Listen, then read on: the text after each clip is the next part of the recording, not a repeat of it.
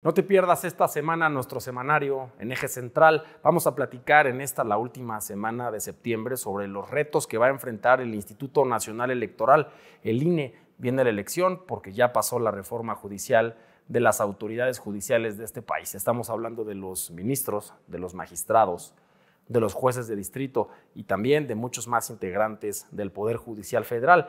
Estiman quienes estuvieron a favor de la reforma que puede tener un costo desde los 2.500, 7 mil millones de pesos, ninguna cifra oficial, pero la Suprema Corte de Justicia de la Nación establece en un documento que pueden ser hasta 30 mil millones de pesos. Ese va a ser el, el reto porque el INE va a tener que organizar estas elecciones.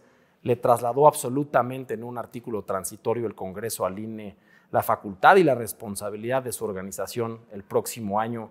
Viene difícil, un reto importante, no te pierdas eje central esta semana.